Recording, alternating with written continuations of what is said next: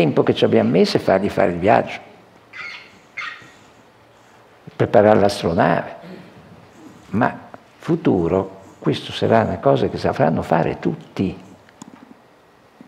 anche da soli, o facilitandosi a vicenda, creando quella fiducia reciproca che è la base di ogni comunità. La comunità è fiducia di tutti i membri, tutti si fidano gli uni degli altri. Ok? Vabbè, questo mi sembra evidente che è successo, no? Cioè, non, Va bene. Mm. Se qualcuno ha vissuto qualcosa di particolare, che vuol dire? Sì, vieni qua.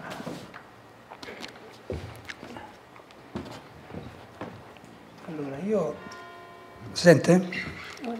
Eh, la prima parte del... Vi... Vicino, più vicino possibile. La prima parte del viaggio l'ho fatta insieme a Alberto fino sì. a Giove e mm, l'ho sentito come, cioè io praticamente l'ho preso, lui era più piccolo di me sì. e quindi quando abbiamo cominciato a partire da questa stanza siamo andati verso Giove, io lo tiravo come io, io più grande e lui più piccolino eh. e lo portavo con me ma eravamo sorridenti, come certo, se, certo, un amico più grande e uno più Ti piccolino. Ti porta a fare un bel viaggio, sì.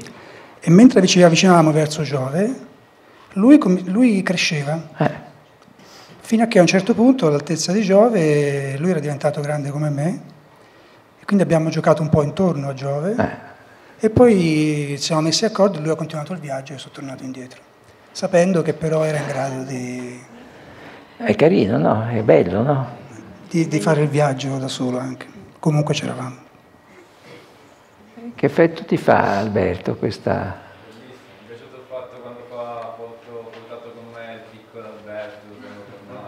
bello, eh? È bellissimo. Cioè c'è qualcuno di più grande che ti aiuta. Eh. Ma soprattutto, volevo dire una cosa, ho notato proprio... Aspetta, vai a dare il microfono.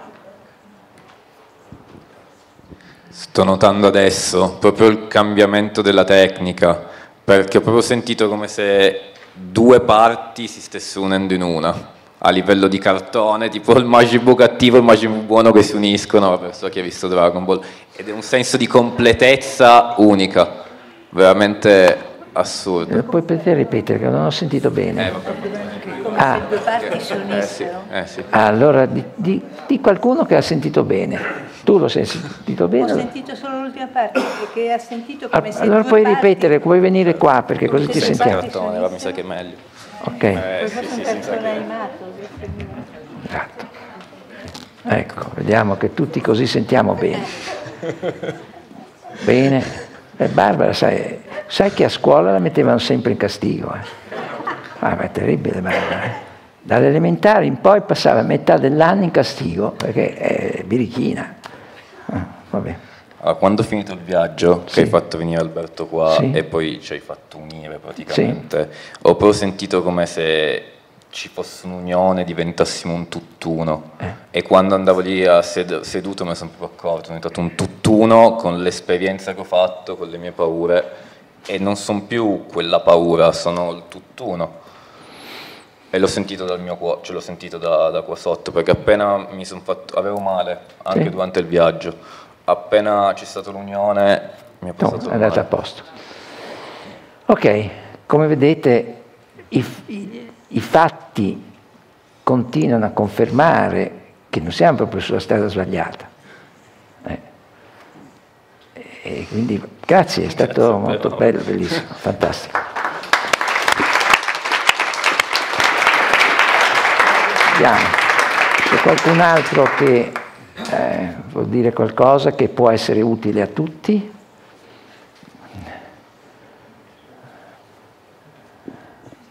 Vieni qua.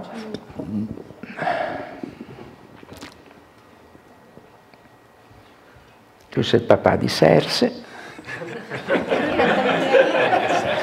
Ha gli stessi pantaloni di Valerio. Eh sì. Ma guardate, ma no, almeno tu c'è, no, questi c'è un po' più larghi, queste striscine che non va. Cioè, io non c'è niente in contrario con i pantaloni con le strisce, ma un po' più larghi, troppo strette lì.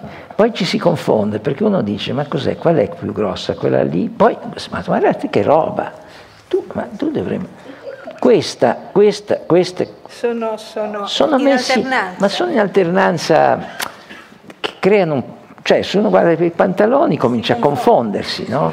Se guardi i suoi no. No, almeno si capisce, sono linee tutte uguali, e- Uguali. e, Sono arrivato basta. in negozio, c'era quel modello e questo. E hai scelto questo. Questa è la discriminazione fatta a pantaloni. No, che questo... La sua. la vedi- ecco, lo vedi? sua, la sua. Lei, lei può accusare, fare queste cose perché confonde. Non sto accusando. Cioè, accusato dice i tuoi pantaloni sono l'esempio della... No, dis- di discriminazione, di, capa- di bianco e Discernimento. nero, blu e bianco. Ah, intendi discernimento. Discernimento volevo dire. Perché discriminazione non è proprio la stessa cosa.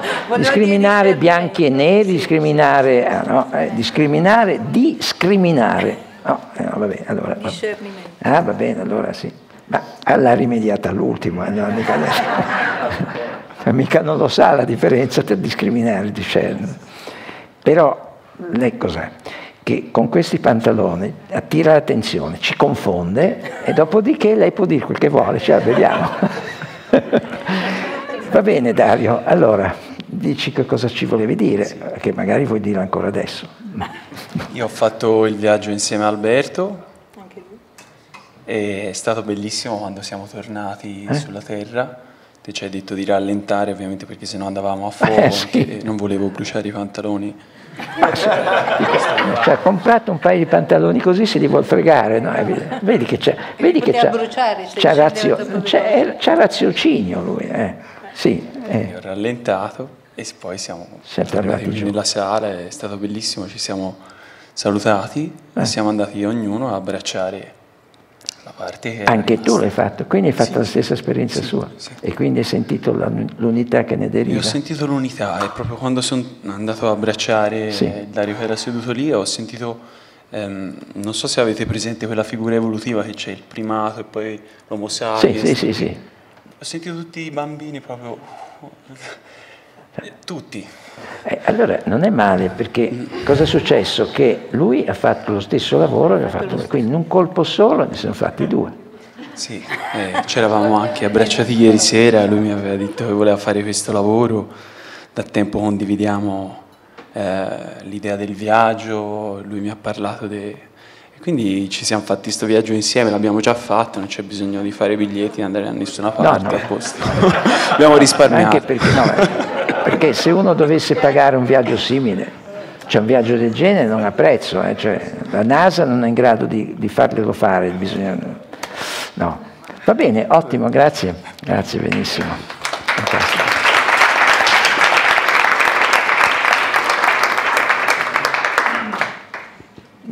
C'è qualcuno che abita Galarate qua? No, manco uno. C'è ma, no- ma non c'è. Non c'è. La mancanza di l'aria. Si sente eh, però, sì, si sente proprio. Posso, posso dire una cosa? E col microfono? Col microfono. Che, eh, io, io mi sono commossa quando ha parlato Renato e, e adesso Dario che, che ha detto quello che ha detto e, e- e- e sempre, sempre di più questi lavori che stiamo facendo eh, fanno in modo uno che lavoriamo tutti, ma questo era già successo in passato, ma che davvero i più grandi possono aiutare i più piccoli, che è il viaggio che, che ha fatto Renato, eccetera, è, è davvero così, nel senso che ci possiamo aiutare mentre una persona lavora, oltre che identificarci, anche aiutarlo, quindi è, Eh, sì. è davvero un lavoro comu- comunitario. Esatto. Va bene. Elisa? Aggiungo solo questa frase perché l'ho sentita molto quando l'hai detto, cioè c'è proprio l'istinto di voler aiutare. C'è, non è solo allora, quello di c'è ricevere. l'istinto di voler aiutare, mentre hanno cercato di installarci l'istinto di non aiutare nessuno. No? È il Questo. lavoro suo. Cioè noi dovremmo in realtà, per aderire alla società di oggi, essere competitivi. Quindi non aiutare proprio nessuno. Oh, in America, forse non avrete letto il libro La povertà in America di una professoressa dell'Università di Torino, che con cui ci siamo sentiti per telefono, poi e appena lo- gli ho parlato, ho sentito che non era una docente qualsiasi, era particolarmente, cioè, era come fossimo amici da sempre. Poi ho letto il suo libro, il libro è molto semplice, dice praticamente in America fare l'elemosina non si può, è reato. Ma vi rendete conto? E i poveri devono essere portati fuori dalle città per non disturbare la coscienza quelli più, più abbienti. Perché i poveri in realtà sono poveri perché sono alcolizzati e drogati, perché hanno tradito le loro famiglie. Ecco. Quindi il mainstream in America, che sarebbe il luogo dove c'è il massimo di cultura, secondo il mainstream, perché beh, negli Stati Uniti la democrazia statunitense. Ecco, la democrazia statunitense è arrivata a questo punto in cui hanno fatto delle leggi per cui coloro che sono poveri non devono poter stare in città, devono, li prendono, li mettono su dei pullman, li portano fuori a perdersi. Anche qua no. Come? Anche qua. Beh, anche qua eh, cerchiamo di imitare gli americani, ma non abbiamo lo stesso livello, siamo più indietro, ecco. Cioè, infatti, perché abbiamo questo senso di inferiorità italiani? Perché non abbiamo fatto veramente, siamo meno bravi, cioè, c'è ancora, qui c'è, credo c'è ancora la Caritas, ci sono queste cose qui, queste associazioni veramente orribili. Come si fa a aiutare gente che ha fame e gli dai da mangiare? Ma, ma se ha fame perché non lavora, vada a lavorare. Non c'è lavoro, ma non c'è lavoro perché è ubriaco, se no c'è essere... Ecco, questo è il futuro che noi dobbiamo cambiare ovviamente. E qui mi sembra che stiamo mettendo le basi di una società diversa.